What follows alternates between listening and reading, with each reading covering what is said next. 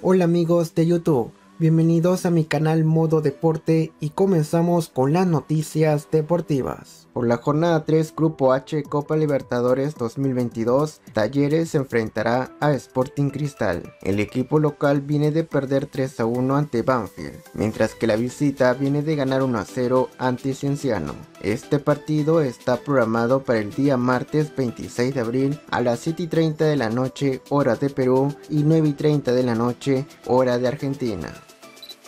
Newcastle busca el fichaje de Philip Coutinho. El brasileño tiene contrato hasta final de temporada con Aston Villa, pero antes deberá regresar al Barcelona con quien tiene contrato vigente hasta el 2023 y si alguien quiere sus servicios deberá pagar la ficha completa. Cabe resaltar que Aston Villa tiene una opción de compra de 40 millones de euros, pero según apunte en Inglaterra, su futuro podría pasar por otro club de la Premier, el Newcastle, quien se encuentra a la expectativa ante cualquier desenlace.